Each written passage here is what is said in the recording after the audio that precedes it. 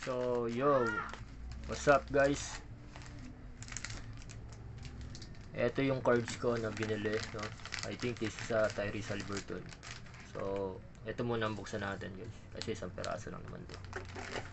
Ito yung, ah, oops. Ah, nagalaw, nagalaw. Sorry, sorry. So, ito yung guys, yung nabili natin nung last time pa ng video ko. So, hindi ko pa rin siya nabubuksan kasi nga medyo parang madami din to. Excuse me. Kumain na ba kayo guys? Uh, eat your uh, ano, lunch or uh, breakfast or uh, dinner or snack. Kainin nyo na. So, ito guys. Ayos. Laki ng ano niya. Mukhang binili ko to guys from uh, San Fernando, Pampanga.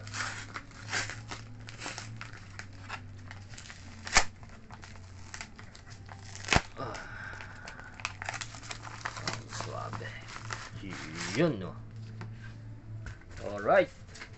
Guys, ito na ang ating card na binili. Pandagdag sa ating personal collection. So, check it out. We'll be together. You and I.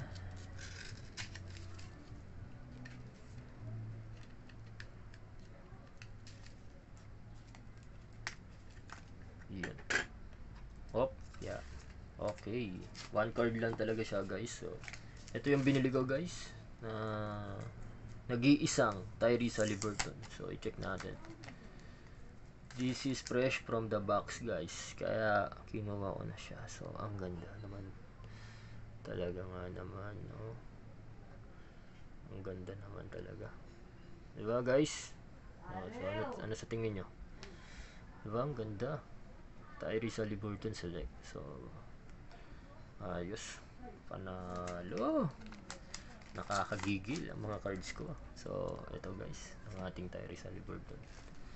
So, ngayon ay, next na natin ito. Medyo marami-rami ito guys, ah. So, kailangan ko ang inyong mahabang pasensya sa panonood kasi titignan natin to isa-isa. So, I hope na mag enjoy kayo once na makita natin to. Pare-pareho. And let's go, let's go. May ano pa siya. May karton pa kaya pala makapal. Yun no. Taran, taran. So ito guys, ito na ang cards natin.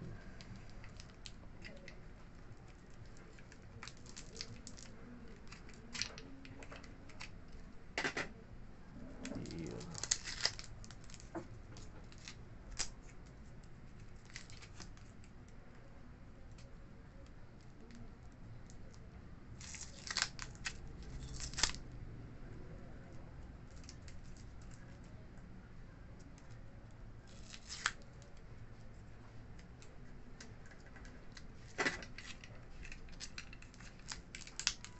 Guys, hindi repack to guys ha. Bali itong mga to, alam ko ah, alam ko to, yung card na to na binili ko. Kumbaga ay hindi ko hindi ko na siya kabisado kasi sobrang dami ko siyang nabili. Ah, from Fire Cell to guys. Hindi siya repack guys ha. Ang sabi ko nga nung last sa video ko, hindi na, hindi ako ganong bumibili talaga ng repack. So kasi wala lang, parang alatsamba kasi doon guys eh, no. Hindi mo alam kung nandun ba yung gusto mong card. So, hindi tulad dito, bininil mo na to kasi gusto mo yung cards. Nakita mo na eh. Nga, pero ina normal price siya guys. No? Sa tamang presyo siya. So, let's go guys. Tingnan natin. Ha? Tatamaan ko yung ano ko. Sorry, sorry. So, let's go guys. Ito na. Carl Anthony Towns, number 28 from Beads. I think this is uh, Minnesota. So, Carl Anthony Towns. Ay, hindi. Puro Carl Anthony Towns to. Carl Anthony Towns. Carl Anthony Towns. Carl Anthony Towns. At syempre, Carl Anthony Towns. And uh, ito naman, Capella. Number 6 from Beads. So, let's go. Check it out, guys. Purple parallel ni Queen Capella, Kenyon Martin, Junior, Houston Rocket, ayos. Rated rookie. At syempre, Jeff Green, Orange Laser. Ayos, ayos guys, no. Mukhang marami-rami na naman ako nga ayusin na card. Marami na naman akong mukhang iibayin ko na naman ang posisyon ng ano ng ah, album ko, guys. So, check it out next video. So, ayan guys, Nico Manyon yung ah, binigyan ng isa ni LeBron James. okay, ayos. Nico Manyon, rated rookie. Ganda naman ng cards na to. Grabe. James Wiseman. Ayos.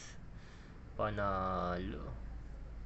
At syempre, RC, Allen, Ismail Logic. So, hindi natin siya alala. From Golden State. At syempre, ang idol ko. Oba? Number card pala to. Press proof. Oh, yes, meron na meron na akong numbered card, guys. First time. First time ko to, guys, no. First time ko magkaroon ng number card, guys. Ayan, no. Grabe naman. Number card pala to. Clay Thompson, guys. Purple siya. 111 in uh, 109.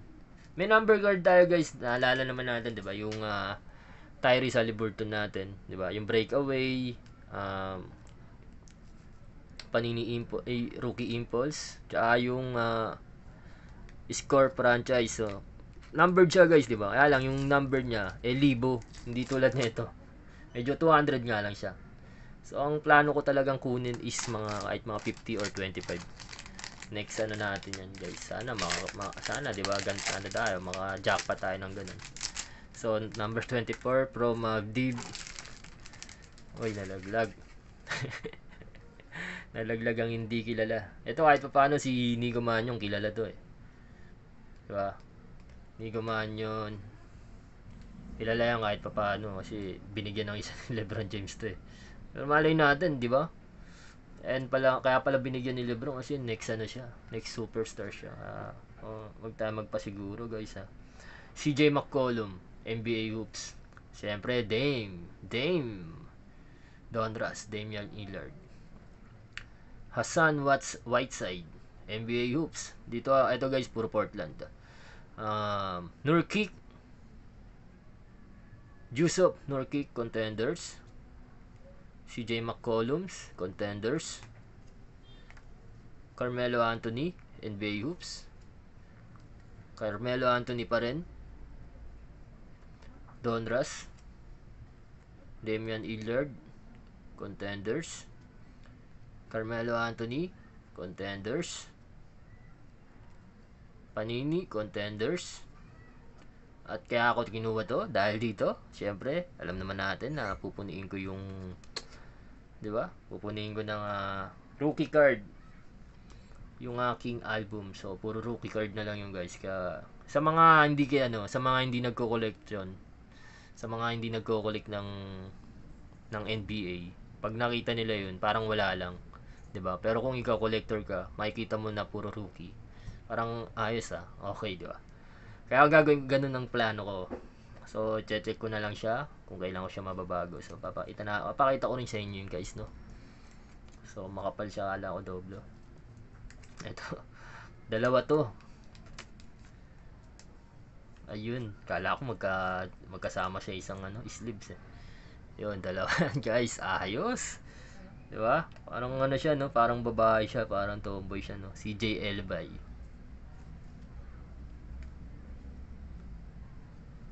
Anthony Simons, Zach Collins, NBA Hoops pareho.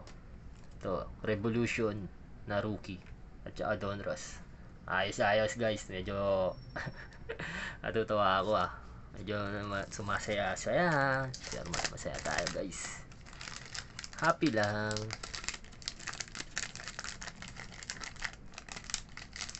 Yun, no? Brandon Ingram. Winter. Oops, meron siya sa loob. Check it natin. Ay, hindi. Doble lang pala. JJ De Redick. Winter. Brandon Ingram again, Donruss, Josh Hart, Contenders. Ano ba to? New Orleans, Tuan Moore, Pelicans, JJ Redick, Pelicans, Josh Hart, Pelicans, J. Holiday, Pelicans, Optic, at Donruss, Josh Hart. Contenders, Jahil Okafor. Derek Favors. Ayos oh. Blue Explosion siya guys. Ang ganda. Oops siya guys. Oops. Hindi pa naging numbered. Derek Favors. At syempre, Derek Favors pa rin. At Lonzo Ball. Wow. Ayos guys. Alright, alright. So, ayan guys, no. Ayan ang ating uh, mga bagong collection ngayon na cards. So, kunin ko yung iba. So, ito guys, medyo madami-dami sila. At ang pinaka-importante diyan is ito, syempre, Kobe Bryant. So, Kobe Bryant ang yung malaga dyan guys. Kobe Bryant lang ang binili ko niya talaga. Grabe ang guys, ang ganda. Ayan. Ayan guys, oh. Ganda-ganda mo. 'Di ba? Oh, panalo guys, oh. Kobe Bryant, apat, tapos isang Blake Griffin. So, bali ito guys, itong mga to, ito yung binili ko nung last time pa. Pinagsama-sama ko lang sila. Tapos, yung ibang cards, ngayon ko lang inopen. So, kasi medyo mahabang uh, kakainin ng oras yan guys. So, ayan, Tyrese Haliburton ito, bago, rin, bago lang din to. Ito na isang card lang. So, tapos ito, ayos, ayos halos lahat na yan. Lahat na yan magkakasama bukod kay Tyrese Haliburton. So, salamat, salamat sa, pinagbid, sa pinagbilang ko na ito. Eh, Sir Neil, Thank you po. Thank you. Sa susunod ulit, once na, na nagkaroon ulit kayo ng fire sale. So guys, ayun guys, ang aking video, ang aking uh, mga cards kasi, nung ko binibili, sa mga fire sale lang. So, next time, kung kung magkakaroon tayo ng uh, malaki-laking budget, baka subukan natin mag-unboxing, no? Personal unboxing. Kahit na NBA hoops lang or uh, Donruss Blaster lang, walang problema. So, dapat noon pa eh, nung ko pa balak bumili ng ganun. Actually, wala naman talagang ba Actually, wala talaga sa vocabulary ko yung mag-video ng ganito. Kaya lang, enjoyment pala. Enjoy lang siya. Parang, alam mo yun, once na, kahit hindi mo panoorin ng ibang tao eh. Kahit na hindi siya, mada, kahit walang manood na marami, basta importante nakikita mo yung binibideo mo yung ano, nag-unboxing ka. Parang ang sarap pala sa feelings once na pinapanood mo sa sarili mo. So, ayun, ya na, napilitan ako mag-video ng every bili ko ng cards. So, pina syempre nakaano pa siya, naka nakabalot pa ng ano nito, ng tawag nito ng packaging pack, 'di ba? Yung plastic nila. Ayun, sinasama ko siya sa video na ganoon. So, guys, kaya nag-video tayo nito. So, try natin. Sana magkaroon tayo ng maayos-ayos na budget this month para siguro by the end of uh, September kasi September 1 yan guys. So, ayun nga no bare months na guys. So sana maging balik normal na rin no para maging happy happy na lahat. Sana uh, this Christmas okay na balik normal na ang buhay natin. So ingat pa rin guys. Safety uh, safe uh, be safe para sa lahat. And yun lang good luck guys uh, good luck din sa pagko-collect nyo ng mga cards nyo at good luck sa mga newbie na kagaya ko at good luck sa mga talagang newbie na newbie na newbie na mga beginners na collectors. So, uh, ayong advice ko lang sa iyo uh, kung ikaw ay uh, newbie pa lang, newbie collectors, I think mas okay kung mag-observe ka lang muna. Huwag ka munang bili ng bili ng cards. Siguro mas okay kung mag-observe ka lang muna tapos uh, talagang talagang anapin mo kung ano ba talaga yung mga cards na gusto mo So ito, ito syempre Kobe Bryant, uh, LeBron James, may pundasyon na 'yan. So kung ikaw, uh, ang gusto mong cards is talagang mga may pundasyon na sa NBA, sa mga NBA cards, I think mag uh, mag invest ka, mag-ano ka talaga, maglalaan ka ng malaking pera. Hindi naman malaki, kumbaga, I mean, uh, hindi siya barya. Hindi siya yung hundreds lang. Talagang abutin din ng libo. So, kung ang kung nga ito yung mga gusto mong collection ah, mas lalo na yung mga star player na possible pa lang, lalo na si Lamelo Ball. So, medyo mahal din siya kahit na rookie pa lang siya. Ay, ro- kahit yung rookie nga siya, di ba? Wala pa siyang pundasyon. Ayun pa lang ang pundasyon niya, kumbaga pagiging rookie niya pa lang. At nakikitaan siya ng potential. So, ayun lang naman, sa mga rookie ngayon, ako ang kinuha ko si Tyrese Haliburton. So, hindi ko pa siya kilala noon na gano'n pa lang siya na nakita ko pa lang siya sa NBA draft. And sinunod ko lang yung advice ni Boss Andrew E, ni Idol Andrew E na mag-pick ka ng isang uh, uh, NBA player na kakaiba yung pangalan. So when I watch uh, a draft picks from uh, NBA last year, nakita ko yung uh, etong si Tyrese Haliburton. Sabi ko mukhang uh, eto, eto nang ipipick ko. And nagulat ako. Hindi ko pa alam na, hindi pa ako nagko-collect noon. Tinignan ko pa lang yung mga cards. So, ay, nagko-collect na pala ako. Tapos, uh, tinignan ko yung mga cards na nang nagulat ako at uh, ang cards ni Tyrese Haliburton is isa sa mga in demand sa mga NBA collectors. So, NBA cards collector kasi nga raw meron siyang potential. Kahit hindi lang dito sa Pilipinas, maging sa ibang bansa. So, siyempre, alam naman natin tayo, minsan gumagaya lang din tayo sa ibang bansa. So, parang dun yata mas oh, ano si Tyrese Haliburton. At ayun guys, no? Si Tyrese Haliburton sa, sa mga rookie, sa mga advice ko sa mga newbie, sa mga rookie natin diyan. Uh, sila Melo Ball, uh, Anthony Edwards, Tyrese Haliburton, si James Wiseman, and medyo okay yan, apat na yan. So, kung magkukulik ka, eh, pero it's up to you pa rin, no? Ayokong pakialaman yung decision mo. Kumbaga, ano lang ba, kumbaga, eto, ano lang, okay lang sa ngayon. Pero, siyempre, ikaw pa din yan.